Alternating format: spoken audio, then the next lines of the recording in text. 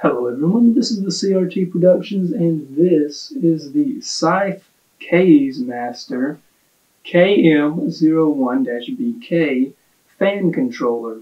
This is the international version, as you can probably tell by the various languages that are listed on the packaging. It's a five and a quarter inch bay um, fan controller, four channels, um, you can control up to four fans, you have four knobs, pretty simple. Um, I like the, the simple design. Of course, it's got a blue blue LED readout, um, which will match my blue theme here on my 2009 PC build. In case you haven't seen that video, be sure to check it out. If you enjoy 2009 era uh, computer stuff in 2008, thereabouts. This fan controller matches the um, era that this PC build is from, around 2008 or 9 and uh, I'm going to be putting it in this computer today um, because these fans are very loud. So why don't we just go ahead and see what the contents of the package are here. If I can get a little styrofoamy package. We've got the manual. This is brand new, by the way, I'd like to point out. Brand new, old stock. We got the manual here, installation instructions. I'll need that. And so it's got this little thing here you pull out the uh, thingy there, and you pretty much got everything right there. These are just regular three pin fan connectors, um, but this case has Molex fans, so that's where um, that's where the other things on the table will come into play. So it has this Molex connector here for powering the thing itself. This will just connect to a Molex connector, of course, to power the fan controller itself. And then here we have, uh, whatever that is, I'll need that. Alright, so, and it actually does have mounting equipment. So there you go, mounting hardware, I mean. And um, today's special presentation is brought to you by Scythe. Um, silica gel, throw away, do not eat, desiccant. So, um, there you are. Smells nice. And uh, we will now try. Alright, so here we got the front. See, we got our little knobs here. They turn. That's all plastic, of course. That's got the little plastic peel off. I'm going to leave it for now. I might peel it off once I put it on the case itself. Um, so yeah, got the little scythe. Oh, and that off camera, didn't I? Little Scythe logo there. So right here it has actually kind of a neato feature, um, and that's these things that I just tossed away earlier and said I'm not going to use. I probably shouldn't have written them off so soon because these are kind of, it's actually kind of cool. Um, these are temperature sensors.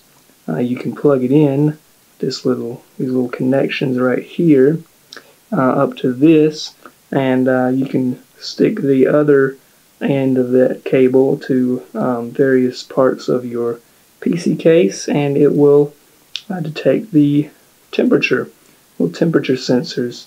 That's kind of a cool uh, thing. I might try that. Um, I don't know, it depends on how lazy I am.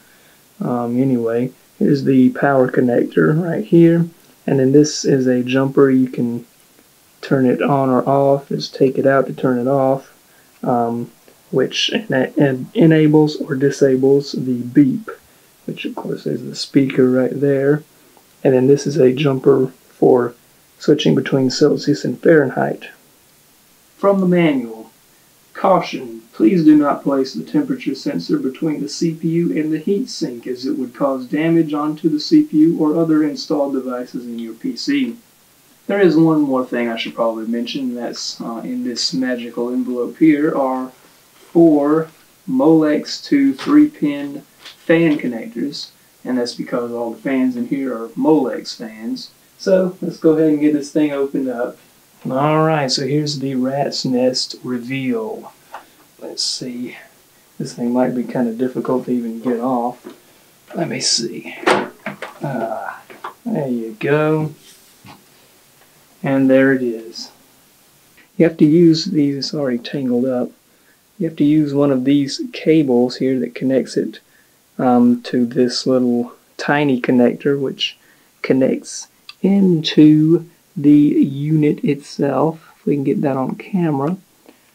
Plug it in right here. You can see it's right next to this line of capacitors in the unit itself. And you have to connect it right there, right in between the metal and the capacitors. I believe I have that one in there good.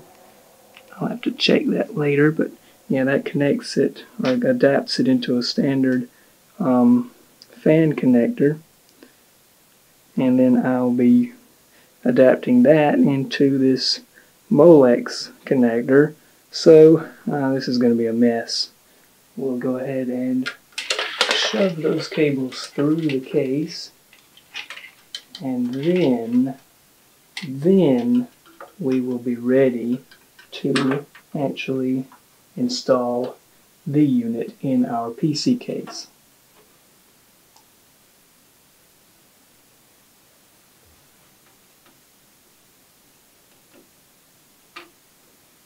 And there we are. It's reinstalled. Pretty sturdy in there. Ain't going anywhere.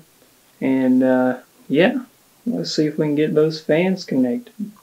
First, of course, I've got to get all of these things connected. So I'll go ahead and do that. Alright, so I now have all of the cables connected. Um, you see this mess here we have of cables. And uh, I'll clean that up a little bit and get the side panel back on, which may prove to be interesting. But um, yeah, we'll get that done and we will test this out. Alright, I'm a happy man. I have uh, one fan connected um, to it, this big side fan here. Um, I didn't connect the temperature sensors. I don't think I'm going to bother with that today. Uh, but you can see I have the knob turned all the way down on fan 1 there. Um, there's a tiny, tiny little number on each fan. And um, if I turn the knob up, the lights turn on and the fan turns on. And as I turn it up, the lights grow in intensity.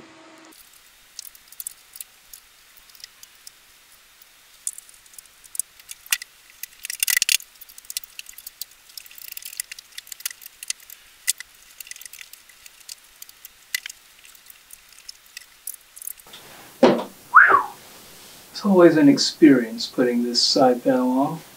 Um, but it's on now. This old Asa Solano case is actually pretty good for cable management, but eh, you know how it goes with non-modular power supplies. And anyway, we got to get this front panel back on real quick, and um, then we'll test this sucker out.